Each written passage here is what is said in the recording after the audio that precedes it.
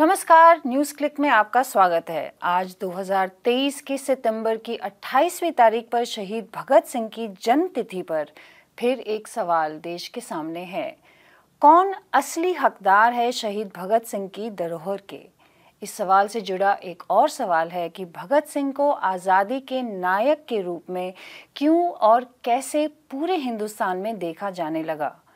अंग्रेज़ी शासकों ने 1931 में भगत सिंह को फांसी का फंदा पहनाया। इससे पहले के करीब एक दशक में पूरे हिंदुस्तान में कई ऐसी घटनाएँ घटी जिन्होंने आवाम में हताशा भर दी। 1919 का जलियांवाला बाग हत्याकांड 1927 का साइमन कमीशन और इसी कड़ी में 1928 में लाहौर में लाला लाजपत राय की हत्या। फिर आया जवाब आज़ादी का संघर्ष करने वाले भगत सिंह और उनके साथियों का। जॉन सॉन्डर्स की 1927 में हत्या और उन्नीस सौ उनतीस में सेंट्रल असेंबली में बॉम्बिंग। आइए बात करते हैं भगत सिंह की इस विरासत के बारे में। न्यूज़ क्लिक के खास मेहमान जाने माने इतिहासकार, प्रोफेसर एस इरफान हबीब से। वो हमारे हमारे को बताएँगे कि किस माहौल में भगत सिंह आज़ादी की जंग के प्रेरणा स्रोत बने। प्रोफेसर हबीब, हमारे साथ जुड़ने के लिए बहुत शुक्रिया। ये तो हर साल हम लोग याद करते हैं शहीद भगत सिंह को। लेकिन उनका समय कैसा था? और वो भगत सिंह से शहीद भगत सिंह बनने का जो टाइम था, जो वो माहौल था उस समय का, आज हम उसके बारे में थोड़ा चर्चा करते हैं। जलियांवाला बाग हो चुका था, सॉन्डर्स की हत्या का कांड हुआ था और साथ ही साथ लाला लाजपत राय की भी हत्या हो चुकी थी। उस समय का क्या माहौल था जिसने कहीं ना कहीं शहीद भगत सिंह को जो बहुचर्चित, जो एक उनकी उनका जो चरित्र है वो सामने लाया, उसके बारे में पहले बताइए। नहीं, पहले तो मैं जब इस इस विषय पर बात करता हूँ तो मैं अक्सर 1920 का जो पूरा दशक है उसकी बात करनी चाहिए क्योंकि भगत सिंह उस दशक के प्रोडक्ट हैं। उस दशक में ही उनका उनका पूरा जो क्रांतिकारी जीवन है या राजनीतिक जीवन शुरू हुआ। 1920 का दशक में महात्मा गांधी की की एंट्री होती है हमारे देश की राजनीति में एक बड़े आंदोलन के साथ, पहला मास मूवमेंट जिसको कह सकते हैं। चंपारण के बाद, चंपारण फिर भी एक लिमिटेड था। नॉन कॉपरेशन मूवमेंट पूरे देश में फैला। भगत सिंह जैसे नौजवान चंद्रशेखर आज़ाद जैसे नौजवान और बहुत सारे लोग उस आंदोलन से जुड़े। महात्मा गांधी की उस कॉल को उन्होंने उन्होंने एक चैलेंज की तरह एक्सेप्ट किया और एक नौजवानों का बड़ा तबका, बड़ी उम्मीदों के साथ इससे जुड़ा। चौरी चौरा के बाद जो आंदोलन वापस लिया गया, उससे जो मायूसी हुई, उस मायूसी का असर भगत सिंह जैसे नौजवानों पर भी पड़ा। चंद्रशेखर आज़ाद जैसे नौजवानों पर पड़ा। और इन लोगों ने महसूस किया कि हम, हमें नहीं लगता है कि गांधी के नेतृत्व में या गांधी की विचारधारा के के के तले या को एक्सेप्ट करते हुए हम कुछ हासिल कर सकते हैं जल्दी। इसलिए हमें अपना रास्ता अलग ढूंढना चाहिए। तो ये एक शुरुआत होती है भगत सिंह की 1920 के दशक में। और उस वक्त नौजवान है स्टूडेंट है भगत सिंह। उनके और साथी सुखदेव वगैरह, वो सब स्टूडेंट ही थे। डीएवी कॉलेज में पढ़ते थे स्कूल के बाद। और उस पीरियड में बहुत सी चीज़ें हुई। भगत सिंह की शुरुआत इस आंदोलन से मायूस होने के बाद उन्होंने अपने जो, एज ए स्टूडेंट जो उनका पीरियड था, उसको उन्होंने ज़्यादा महत्व देना शुरू किया। नौजवानों को कैसे जोड़ा जाए? नौजवानों को देश की आज़ादी के साथ कैसे जोड़ा जाए? देश को बदलने के लिए कैसे जोड़ा जाए क्योंकि ये एक ज़रूरी चीज़ है जो हमें याद रखनी चाहिए कि भगत सिंह सिर्फ़ देश की आज़ादी की लड़ाई नहीं लड़ रहे थे। वो देश किस तरह का देश उनको बनाना है जिसमें इसकी बात हम बाद में भी कर सकते हैं लेकिन शुरुआत से ही करनी चाहिए शुरुआत से ही करनी चाहिए क्योंकि ये उद्देश्य उनका बिल्कुल सामने था शुरू से ही कि देश में ऐसा देश होना चाहिए जिसमें सांप्रदायिकता ना हो जिसमें जातिवाद ना हो जिसमें अमीर गरीब का फ़र्क मिट जाए कम से कम कम हो जाए जिसमें किसानों के अधिकारों की बात की जाए जिसमें शोषण किसी प्रकार का भी शोषण एक मनुष्य दूसरे मनुष्य का न करे। इस तरह का भारत होना चाहिए। तो वही आज़ादी उनके लिए महत्वपूर्ण आज़ादी थी। ये नहीं कि अंग्रेज़ चले जाएँ और काले अंग्रेज़ कब्जा लें। ये उन्होंने उसके बारे में लिखा भी बाद में बार बार अपने बहुत सारे लेटर्स में लेखों में मैनिफेस्टो में जगह जगह इस बात को रिपीट किया। इन सब बातों को जो मैंने भी तुम्हारे सामने रखी चार पाँच चीज़ें और बहुत सारी हैं लेकिन ये महत्वपूर्ण है। उसके बाद भगत सिंह का जो एक उत्थान होता है as a as a as a revolutionary intellectual एक क्रांतिकारी विचारक के रूप में वो 1924 से शुरू होता है।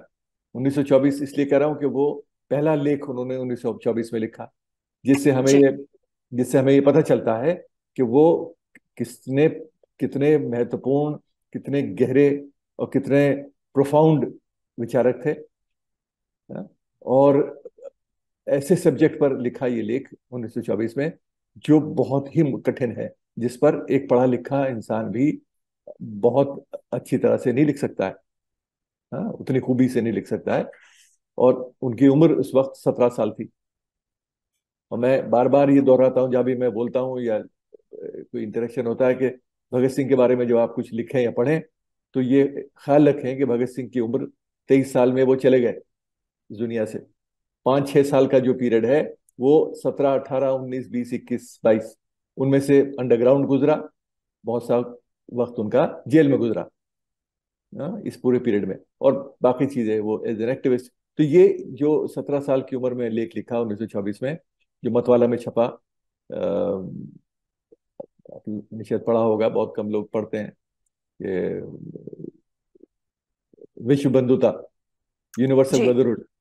तो अब उस पर उस पर जिस तरह से वो विश्व बंधुता की बात करते हैं उसको आप कंपेयर कीजिए आज जो हमारे जी ट्वेंटी में वसुदेव कुटुंबकम का इस्तेमाल किया गया है ना? वसुदेव कुटुंबकम से ही शुरू करते हैं भगत सिंह। ना? जी पर उनका शायद वसुदेव कम नहीं कुछ और मतलब था। मतलब जो आज हम कहते हैं जी ट्वेंटी का जो स्लोगन भारत में यूज़ किया गया।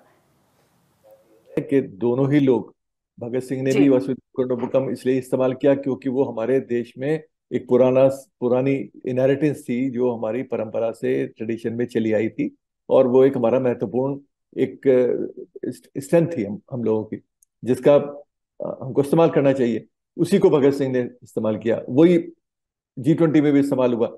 बात तो यही कही गई ना कि हमारा ये हमारे संस्कृति ये हमारी परंपरा है लेकिन उस परंपरा में उस, कितना आप सच सच्चाई से उसको फॉलो करते हैं ये ये देखने वाली बात है। भगत सिंह ने जब ये लिख, लिखा ये लेख तो उसमें साफ़ तौर से ये कहा कि भाई ये आप ऐसा विश्व की परिकल्पना कीजिए जहाँ पर कोई गैर ना हो। अब देखिए जहाँ पर कोई गैर ना हो। ये उस देश की नहीं कर रहे विश्व की पर कल्पना कर रहे हैं। जहाँ कोई गैर ना हो जहाँ एक दूसरे से दुश्मनी ना करते हो जो जहाँ इंसान इंसान से प्यार करता हो जहाँ सब एक दूसरे को परिवार मानते हो है ना? धर्म जाति वर्ग के के नाम पर कोई किस तरह का दुश्मनी ना हो। तो जहाँ जिस मुल्क में हम अपने ही देशवासियों में दुश्मन टूटते हैं विश्व की बात छोड़ दीजिए तो वहाँ भगत सिंह के इस इस उद्देश्य का कोई मकसद नहीं नज़र आता आज। तो भगत सिंह ने तो ऐसे देश की और विश्व की परिकल्पना की 1924 में। तो ये शुरुआत है भगत सिंह की। उसके बाद वो इवॉल्व होते हैं एज एन इंटेलेक्चुअल 1926 में नौजवान भारत सभा बनती है एक प्लेटफॉर्म है जहाँ नौजवानों को जोड़ा जाता है। उन्नीस सौ छब्बीस सत्ताईस अट्ठाईस में वो हिंदुस्तान सोशलिस्ट रिपब्लिकन एसोसिएशन जुड़ते हैं। एच आर ए को एच एस आर ए में बदलते हैं। समाजवाद जोड़ते हैं, दिल्ली में ही उसकी सभा हुई थी कोटला में। तो ये सब चीज़ें हैं जो भगत सिंह को एक क्रांतिकारी के रूप में दिखाती हैं। और भगत सिंह हमारे सामने एक क्रांतिकारी विचारक के सामने, के तरह से उभरते हैं। नई जो पार्लियामेंट बिल्डिंग बनी है, उसमें जिस कॉन्स्टिट्यूशन ऑफ़ इंडिया की कॉपी रखी गई, सरकार का कहना है कि वो अनएडिटेड है, जो ओरिजिनल कॉन्स्टिट्यूशन है, जिसमें सोशलिज्म का ज़िक्र नहीं था। तो लेकिन भगत सिंह की अगर हम बात करें तो उन्होंने नाम बदल के सोशलिज्म अपनी पार्टी में ऐड किया। तो क्या हम आज हमारी सिर्फ़ कथनी और करनी में फ़र्क आ गया है? क्योंकि आज भी भगत सिंह को याद किया जाता है, बल्कि मौजूदा पार्टी और आम आदमी पार्टी पंजाब में इनको अपनी तरह से याद करते हैं। तो ये सिर्फ़ कथनी करनी का फ़र्क है या देश और समाज अलग दिशा में ले जाया जा रहा है जो भगत सिंह ने सोचा था? दोनों दोनों है इसमें। इसमें कथनी करनी में भी फ़र्क है क्योंकि भगत सिंह का नाम भगत सिंह की का जो व्यक्तित्व है उससे कैसे आप फ़ायदा उठाएँ? आपने अपने की अपनी राजनीति में उसका कैसे इस्तेमाल किया जाए? वो हमारे जो राइट विंग ग्रुप्स हैं वो भी करते हैं और आम आदमी पार्टी जैसे लोग भगत सिंह और अंबेडकर दोनों का इस्तेमाल कर रहे हैं दोनों का फ़ोटो के लगे हुए मैंने कई बार ये बोला भी है कि बहुत अच्छी बात है कि कोई पार्टी भगत सिंह के नाम पर, भगत सिंह के उद्देश्यों के नाम पर, भगत सिंह की के व्यक्तित्व को सामने रख के सरकार चलाना चाहती है। लेकिन वो वो आपकी गवर्नेंस में भी दिखना चाहिए। है? बात यह है कि बहुत अच्छी बात है। कि आप भगत सिंह का फ़ोटो लगा के सरकार चला रहे हैं? लेकिन भगत सिंह के फ़ोटो लगाने से ही काम नहीं चलता है। गांधी का फ़ोटो तो सालों से दीवारों पर लटके हैं? लेकिन गांधी के साथ हम क्या करते हैं? तो वही भगत सिंह का है। भगत सिंह का फ़ोटो लगाने से नहीं चलता। अच्छी बात है, लगाया आपने। लेकिन आप उस भगत सिंह की विचारधारा को भी अपने आत्मसात करें। उसको आप अपने अपने कामों में, अपनी पॉलिसीज़ में ढालने की कोशिश करें। और ये बताने की कोशिश कोशिश करें कि हम भगत सिंह के व्यक्तित्व से प्रभावित हैं, विचारों से प्रभावित हैं और हमारी सरकार की नीतियाँ भी भगत सिंह के विचारों पर ही चलेंगी। तब तो बात है। तो वो चीज़ अभी तक दिखाई नहीं दे रही। अब आगे वो क्या करेंगे ये मालूम नहीं लेकिन अभी फ़िलहाल उससे काफ़ी दूर है। प्रोफेसर हबीब आप क्या दो बिंदु ऐसे बता सकते हैं कि भगत सिंह के आइडियाज़ को इंडिया में अडॉप्ट किया जाए सरकार कुछ ऐसी नीति लाए जिससे हमें लगे कि हाँ वो वाकई वाकई में अपने आप को वारिस मानते हैं भगत सिंह का और उससे देश की जनता को क्या असर पड़ेगा क्या फ़ायदा होगा? देखिए तीन चीज़ें हैं।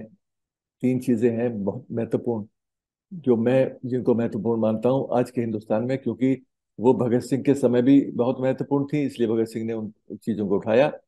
दुख की बात यह है और मैं बार बार कहता भी हूँ कि हम भगत सिंह को कहते हैं भगत सिंह आज भी रेलिवेंट है।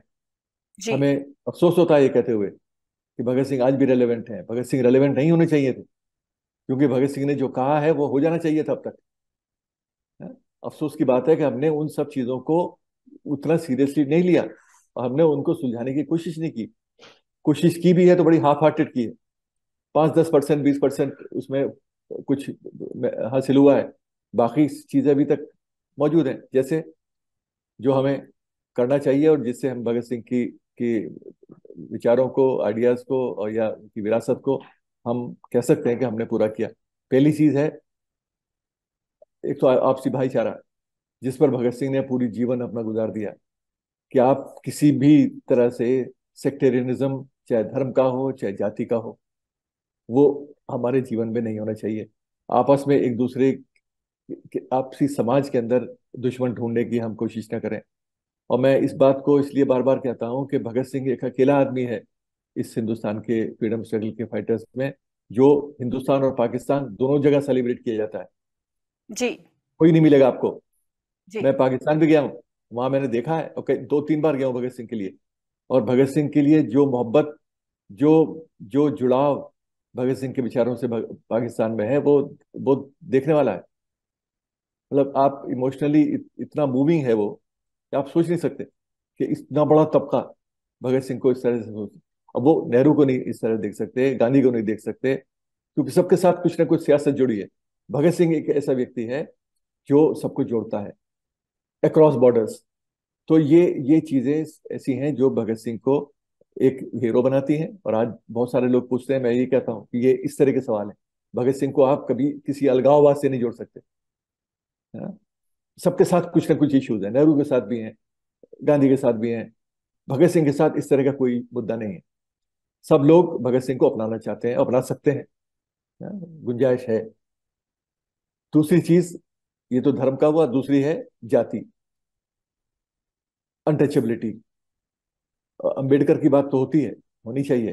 अंबेडकर की लड़ाई उन्हीं लोगों के अधिकारों के लिए थी, लेकिन भगत सिंह ने उसी पीरियड में एक नौजवान की हैसियत से क्या कुछ बोला, क्या कुछ लिखा, वो भी देखने की ज़रूरत है। एक छोटी सी उम्र में जो आदमी कर सकता है, क्योंकि उनके पास वक्त ज़्यादा नहीं था। बाकी लोग तो स्कॉलर थे जो अमेरिका तक पढ़, पढ़ने गए और पूरा एक ट्रेंड स्कॉलरशिप है। अंबेडकर जैसे लोगों की, जिसका हम सम्मान करते हैं। लेकिन वो एक ट्रेंड स्कॉलर्स हैं और उनके पास समय रहा लिखने पढ़ने का। भगत सिंह के पास तो समय नहीं था। उसके बावजूद उस आदमी ने इतना कुछ सोचा इतना कुछ कहा और लिखा अपने छो, छोटे से जीवन में। चोरी छिपे जो कुछ किताबें मिली उसको पढ़ के उन्होंने अपने विचार बनाए। तो जाति के नाम पर बहुत कुछ लिखा जो एक लेख कीर्ति में छपा है और बाकी बहुत जगह लिखते रहे छोटी छोटी चीज़ें। जहाँ उन्होंने कहा कि भाई हम उस, अंग्रेज़ों से अधिकारों की मांग क्या कर सकते हैं? समानता की की उम्मीद क्या कर सकते हैं अंग्रेज़ों से? जब हम खुद अपने समाज में, अपने ही साथ, समाज के लोगों के साथ समानता के व्यवहार नहीं करते तो पहले तो हम समानता के व्यवहार करना शुरू करें, तब हम अंग्रेज़ों से उम्मीद कर सकते हैं। तो ये भगत सिंह ने खुद लिखा। तो वो आदमी इतना स्ट्रांगली लिखता है, उस वक्त लिखता है जब हम आज़ादी की लड़ाई लड़ रहे हैं अंग्रेज़ों से। उस वक्त भी वो कह रहा है कि अंग्रेज़ों से लड़ाई तो आप लड़ रहे हो आज़ादी के लिए और समानता के लिए, लेकिन पहले अपने समाज में तो समानता लाओ। तो ये एक बड़ा महत्वपूर्ण इशू था भगत सिंह के लिए, जिस पर वो पैशनेटली लिखते थे, अब बोलते थे। दो, तीसरी चीज़ तीसरी चीज़ है जो आज मैं उन चीज़ों को कह रहा हूँ जो आज ज़रूरी है हमारे समाज में, और आज उतनी ही स्ट्रांगली और मतलब जिनकी शक्ल आज भी उतनी ही बुरी है हमारे समाज में, चाहे वो धार्मिक धर्मांता हो, चाहे वो जाति के, को लेकर लड़ाई हो। तीसरी चीज़ है, अमीर और गरीब का फ़र्क। अमीर और गरीब का फ़र्क मिटाया जाए। पॉलिसी सरकार की ऐसी हो, जिसमें उस गरीबी के फासले दूर हों। दुख की बात यह है कि गरीब गरीब हो रहा है, अमीर अमीर हो रहा है, ना? ये फासले कम होने के बजाय। भगत सिंह ने तो अपने मैनिफेस्टो में, नौजवान भारत सभा के, ओपनली लिखा, स्ट्रांगली लिखा कैटेगोरिकली कि मैं ऐसे सरकार की अपेक्षा करता हूँ अपनी आज़ादी के बाद जो अट्ठानवे फ़ीसदी लोगों की भागीदारी से चले। दो परसेंट अमीरों की भागीदारी से नहीं ninety eight percent shall rule not two percent जी। तो जो जो आदमी ये ओपनली कह रहा है कि मैं उन अट्ठानवे फ़ीसदी लोगों की भागीदारी चाहता हूँ उस सरकार में तो ज़ाहिर है कि वो ये चाहता था कि सब लोग ये जो फासले हैं ये दूर हों अमीर और गरीब का फ़र्क मिटे फासले कम हो, सब लोगों की गरीबी दूर हो, और कोई आदमी एक दूसरे को एक्सप्लॉट न करे, शोषण न करे। तो इस तरह का समाज होना चाहिए। तो आज जो देश है हमारा, उसमें इन सब तीनों चीज़ों की ज़रूरत है। और भगत सिंह की ये तीन चीज़ें सबसे बड़ी विरासत है।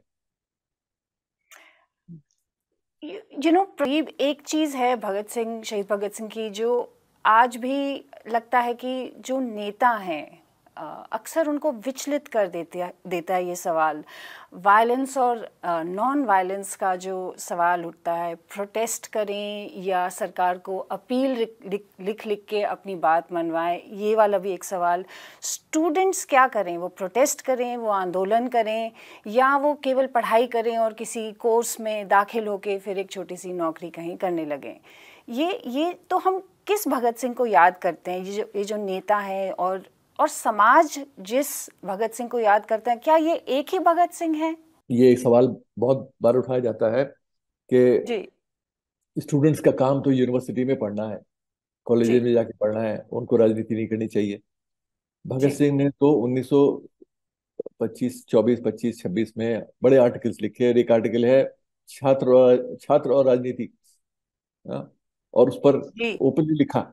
कि कि छात्रों का क्या अब पहली बात तो ये देखिए ना, जो लोग ये कहते हैं, उनसे ये पूछिए कि भगत सिंह, सुखदेव, भगवती चरण वोरा, चंद्रशेखर आज़ाद या और उनके साथी सब लोग, ये कौन, ये लोग कौन थे ये लोग सब छात्र थे, है? ये सब लोग छात्र राजनीति का प्रोडक्ट है इन सब लोगों ने देश की आज़ादी के लिए लड़ने की, का फैसला किया जब वो अपने कॉलेजेस में थे सबने अपनी स्कूल एजुकेशन भी, कॉलेज एजुकेशन पूरी नहीं की? इस लड़ाई को लड़ने के लिए। दूसरी चीज़ जब ये सवाल किया जाता है तो लोग कहते हैं कि साहब वो वो तो अंग्रेज़ों से लड़ाई थी वो तो देश आज़ादी के लिए लड़ रहा था उस वक्त तो। अरे भाई भगत सिंह ने तो ओपनली कहा है ये कि हमारी लड़ाई सिर्फ़ आज़ादी की लड़ाई नहीं है हमारी लड़ाई उन इन उद्देश्यों के लिए जो मैंने अभी आपको थोड़ी देर पहले बताए जब तक ये उद्देश्य ये उद्देश्य हमें प्राप्त नहीं होते हैं तब तक हमारी लड़ाई जारी रहेगी चाहे उसमें गोरे अंग्रेज़ों के बजाय काले अंग्रेज़ आ जाए। अगर वो भी आ जाते हैं या ये लोग मिलके हमें एक्सप्लॉइट करते हैं गरीब को तब भी ये लड़ाई हमारी चलती रहेगी। तो ये सवाल गलत है कि साहब ये लड़ाई तो अंग्रेज़ों से थी उस वक्त जो ये लड़ रहे थे तो भाई आज भी वही सवाल है। भगत सिंह को अगर आप मानते हो तो भगत सिंह की, की भी मानो। हाँ? भगत सिंह की बात को भी तो मानो ना। भगत सिंह को सिर्फ़ तेईस मार्च को माल्यार्पण करने से तो नहीं याद किया जाता। उसके भगत सिंह के विचारों को मानिए। तो भगत सिंह ने तो कहा कि भाई नौजवानों का काम कॉलेजेस में यूनिवर्सिटीज में संघर्ष करना है। वो एक स्पेस है जिस स्पेस का इस्तेमाल नौजवानों को करना चाहिए। देश में जितनी भी खराबियाँ हैं बुराइयाँ हैं कुरीतियाँ हैं उनके खिलाफ लड़ना अत्याचार हैं उनके खिलाफ लड़ना। तो ये तो एक छात्र का का मकसद होना चाहिए समाज को बदलना। सिर्फ़ उसका पढ़ाई करना मकसद थोड़ी है। वो भी कीजिए। उसके साथ साथ जो ये सामने आपके चैलेंजेस हैं उनको भी आपको फेस करना है। तो जो तो आवाम याद करती है भगत सिंह को और खास तौर से रूलिंग पार्टीज़ जब याद करती हैं क्या ये दो अलग भगत सिंह है? क्या लोगों में अभी भी वो विचार ज़िंदा हैं कि हाँ हमें संघर्ष करना पड़ेगा? या ये मुश्किल हो गया है अब? ये देखिए ऐसा है ये ये जो ये जो चीज़ें हैं हर आदमी ये चाहता है कि भगत सिंह किसी दूसरे के परिवार में पैदा हो। हाँ। मेरे घर में भगत सिंह पैदा हो तो लोग मतलब बहुत अच्छा लगता है भगत सिंह को सेलिब्रेट करना सब कुछ करना। लेकिन ये कोई नहीं चाहता है कि भगत सिंह के बताए हुए रास्ते पर चले क्योंकि वो बड़ा कठिन रास्ता है। आसान आसान चीज़ है भगत सिंह की विरासत को राष्ट्रवाद को शहादत को सेलिब्रेट कीजिए। तेईस मार्च अट्ठाईस सितंबर को याद कीजिए। बाकी साल भूल जाइए। बाकी साल ज़रूरत नहीं क्योंकि वो बड़ा बड़ी सुविधाजनक चीज़ है। आप एक टोकन रिमेम्बरेंस भी हो गया और काम भी चल गया। तो वो उसमें बड़ा बड़ा कन्वीनियंट तरीका है और ये भगत सिंह के साथ ही नहीं, और बहुत सारे जो हमारे क्रांत विचारक हैं और राष्ट्रवादी नेता हैं, सबके साथ यही हो रहा है। भगत सिंह जैसे लोगों के ज़्यादा ज़्यादा हो रहा है क्योंकि उनकी उनकी जो विचारधारा है वो ज़्यादा मुश्किल है। उसको फॉलो करना, उस पर चलना आसान नहीं है। तो फिर प्रोफेसर मेरा आखिरी सवाल कि उनकी विरासत जो है वो उसके हकदार असल हकदार कौन है? उसके असल हकदार हैं वो लोग जो जो फॉरवर्ड लुकिंग है। वो नौजवान जो आगे देखते हैं जो पीछे नहीं देखते हैं? जो ये जानते हैं कि इस इस देश में इस मुल्क में इस दुनिया में जो ज्यादतियाँ हैं जो जो जो बुराइयाँ हैं जो जो शोषण है धर्म के नाम पर जाति के नाम पर अमीर गरीब के नाम पर जो लोग ये कर रहे हैं उन लोगों को वो लोग खड़े हों और भगत सिंह को भगत सिंह उन्हीं को रिप्रेजेंट करता है। भगत सिंह उनको रिप्रेजेंट नहीं करता। जो जो ये कहते हैं कि साहब धर्म जो है वो धर्म में आस्था ही राष्ट्रवाद है। भगत सिंह ने तो अपने आप को नास्तिक कहा। अगर वो अपने आप को नास्तिक कहता है तो धर्म तो उसके है ही नहीं तो वो राष्ट्रवादी कैसे होगा? अगर आप राष्ट्रवाद से धर्म को जोड़ते हैं तो भगत सिंह तो राष्ट्रवादी आपके हिसाब से है नहीं होना नहीं चाहिए। तो जो। लोग धर्म को खींचते हैं राष्ट्रवाद में जो लोग अपनी राजनीति में धर्म और जाति को खींचते हैं अमीर गरीब के फ़र्क को खींचते हैं उन लोगों के लिए भगत सिंह का कोई संबंध नहीं। तो भगत सिंह उन्हीं का हीरो है। वो चाहे किसी भी पार्टी में हो किसी भी जगह हो अगर वो भारतीय जनता पार्टी में भी है और इन उद्देश्यों पर चलते हैं तो मुझे तो कोई प्रॉब्लम नहीं है। आप मानो ना फिर आप वहाँ रहो नहीं पाओगे। अगर भगत सिंह की इन बातों को आप मानोगे इन उद्देश्यों पर चलोगे तो आप ऐसी जगह रहोगे ही नहीं जहाँ इस तरह की संकीर्ण विचारधारा अपनाई जाती हो या जिस पर अब संकीर्ण विचारधारा पर चला जाता हो। तो उसमें और, और वो एक ऐसे समय के नेता नहीं थे वो बहुत कंफर्टेबल टाइम रहा हो बहुत आ... पीरियड है। बहुत मुश्किल पीरियड है उसमें उसमें सांप्रदायिकता भी है उसमें ब्रिटिश कॉलोनियल जो हमारा उपनिवेशवाद है उसकी उसका उसका एक डंडा भी था। लड़ाई उससे आप लड़ रहे हैं तो ज़ाहिर है कि उस, उसके साथ खिलाफ आपके ऑपरेशन भी है और बहुत सी पाबंदियाँ हैं। उन पाबंदियों में आपने जीवन गुजारा। पढ़ने लिखने के लिए किताबें नहीं मिलती थी चोरी छिपे आप किताब पढ़ते थे। तो ये सब चीज़ें हैं तो जो बड़ी मुश्किल है जिनका सम्मान हमें करना चाहिए।